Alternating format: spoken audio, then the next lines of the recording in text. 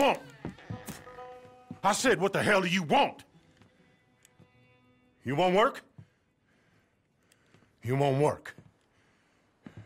Sorry, kinda jumpy. Right now, kinda on edge, you know? But to be clear, I didn't do it. Folk lie, you know, make shit up. Don't add up. Why would I kill him? Don't make sense. I didn't. And I wouldn't. And, and, and you got my word on that. Honest. I'm not a liar. Anyway, you friends with Micah? With Cleet? With Samson Finch? Well, don't matter much. As long as you keep your mouth shut. And don't lie. Folk talk a whole heap of shit. I swear I hardly knew the bastard. But this fella, this fella and his bunch, degenerates and liars. If you kill him, maybe I can walk free again. Like a gentleman, you know? Good. They're over at Fort Brennand.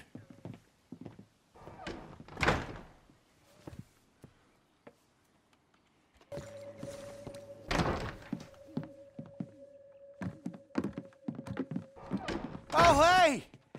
Hey, don't worry. It's all right. No such thing as a stranger here.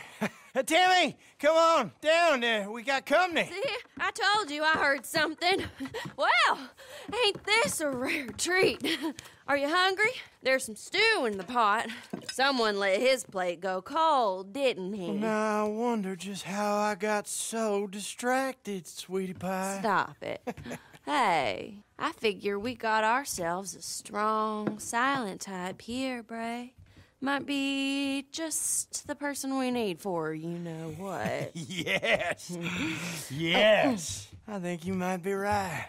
You see, there's some folk who done us wrong, some bad folk. Took advantage of our warm hospitality and disrespected Tammy here. And then just gone away.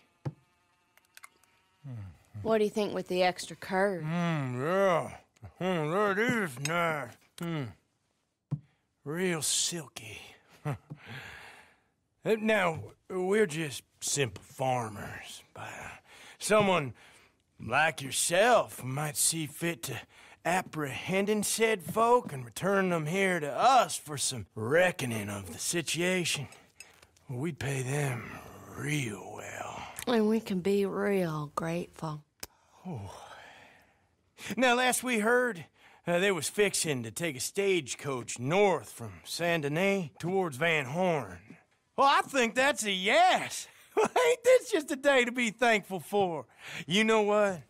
Now I think I'm gonna finish off the stew. Oh, it'll be stone cold by now. Oh, nonsense. Well, I would eat your meat off a dirty floor, princess. You know that.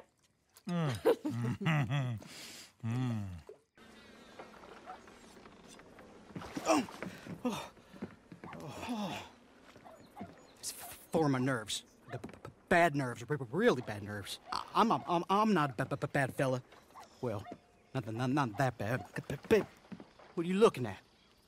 Well, folks, always stare or screw you over.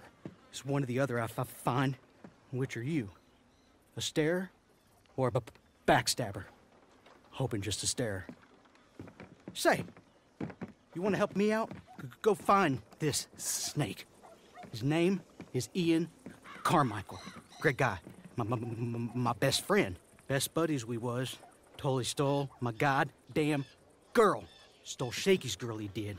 I trusted him. He stole her. I'll, I'll pay. But you gotta kill this bastard for me, will you? Go on then.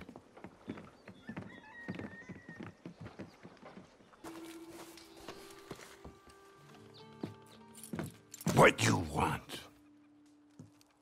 You're just standing there, looking pretty. You gonna introduce yourself? Eh?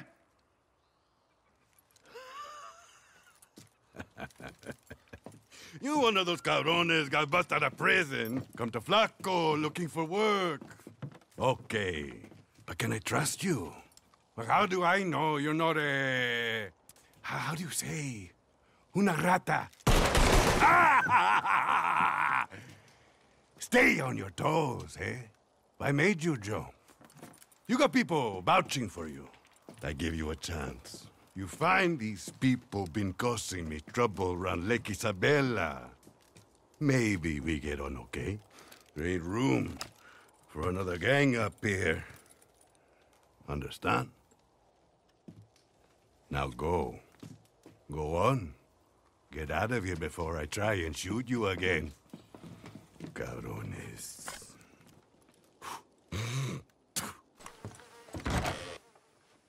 Hold it right there. Are you here to cause trouble or to help me out?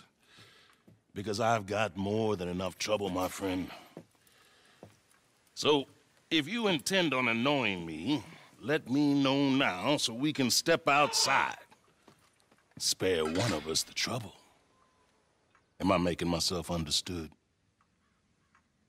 Good. Ah, I'll tell you, this whole county is not too keen on civilization. But they will be. If I have to string nine out of ten up, the tenth who remain will live calm and peaceful lives. Calm, peaceful lives where their main form of entertainment is public executions. So be it. I am not a man to be annoyed by the unjust and the uncivilized. Again, for the record, am I being clear? Good. Now, if you're looking to help out a poor town teetering on the abyss, I'm always looking for guns to help out. In fact, let me see. Right now, there's some wagons outside, need escorting through some dangerous country. Decent fellas. I wish the world were different, but until we make it so, it won't be. Good day to you.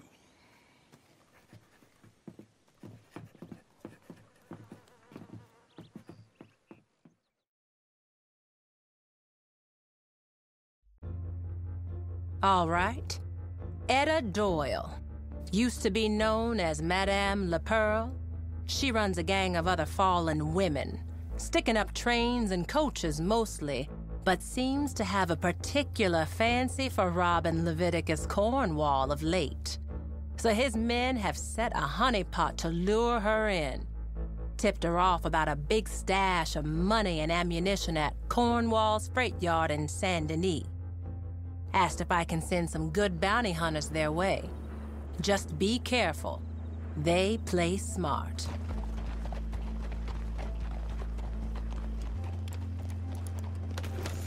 Uh, looks like she only sent one.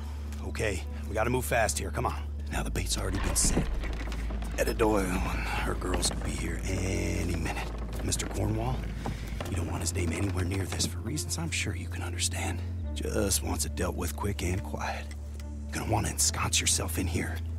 And wait till they bust in. And then, when the moment's right, ambush Miss Doyle and escort her into custody. They want her alive. You get paid, we get rid of her, everyone's happy. Now don't worry about her cronies. She's the one with the price on her head. They're notorious for dressing alike, so you bide your time you figure out which one's Doyle. You'll know for sure when you see her face. Got a big old scar down her right cheek. And we're just gonna hang around and stand guard, create some semblance of security, and just pray the crazy bitch don't bust in and shoot us straight in the face. All right, now, it's time. Find a place to hide, and we'll wait for the guest of honor.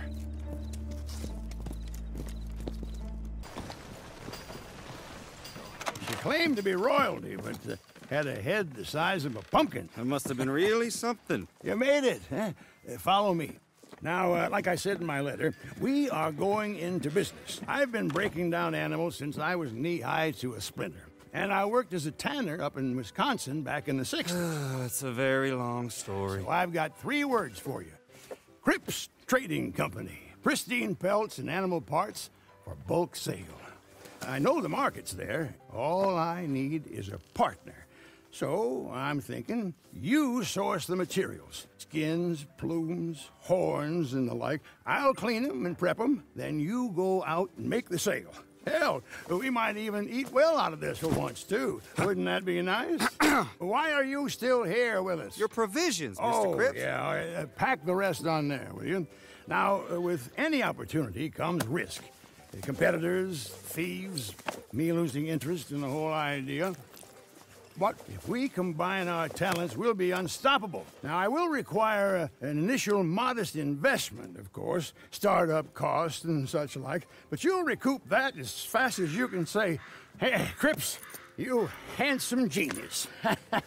so, how about it? Are you in? Oh, I forgot. Uh, not much in the coffers right now, is there? Uh, no problem to pay me later. You know where to find me.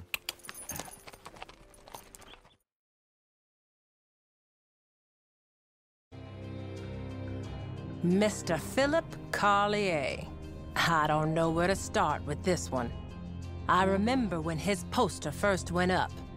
Mild mannered, they said. Well, they all are, until they ain't. I might have even looked for him too, but none of us could find him. It sounds like they spotted him in the swamps. If that's where he's been, on the run all this time, then God help him. Ain't much in the way of company out there, or much that won't try and eat you or put you on a pike. Got to ask what years of that might have done to his mind.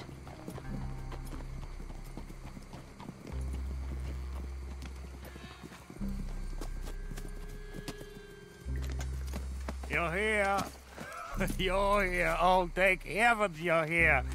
See, I've been here for, must be years, trapped. See, I, I thought no one would ever come. Philip Carlier, the Castile Cotton Company chief clerk. But, uh, I'm sure you already know that, given why you're here. My, my, I can't- imagine how it must look. oh, yeah, no, no time for any of that. Now, if you'll just let me... Oh, so hoping for someone to share this with.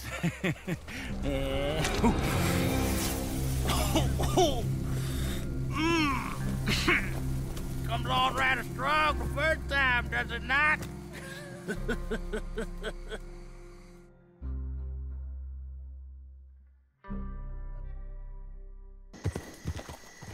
This better not be them. It's not them.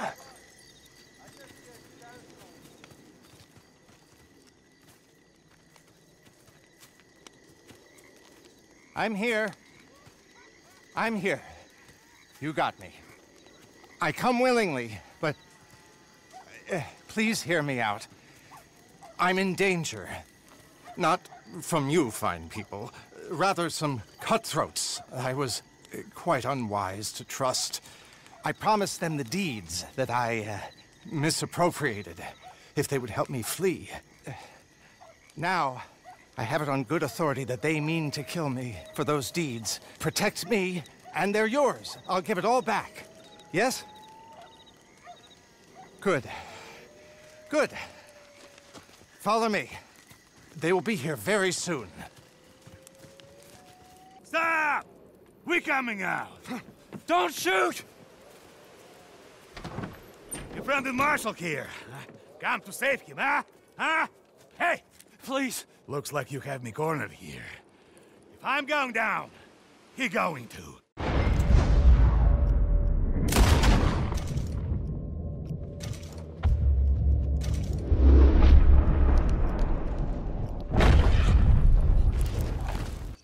There you are. How'd you get on? He got on just fine. You know he did. What?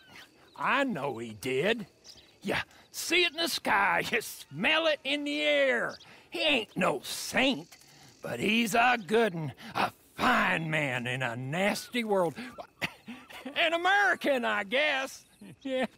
Oh, the madam picked well. Horley, this fellow'll do more than avenge her. With any luck, he'll save us all. Oh, there ain't no luck, Mr. Jones.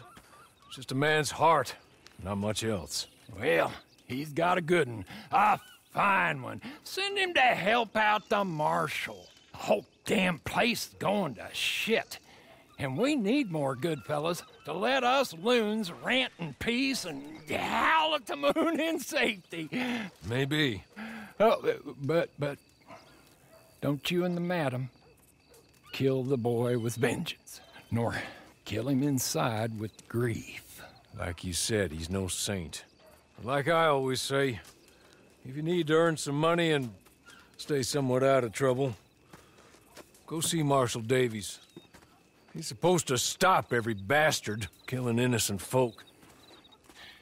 Of course, uh, it's the nature of the thing that good men go bad, and bad men, some of them go good. But the Marshal will see you right on that. World always needs good men, and finds it easier to birth the bad ones.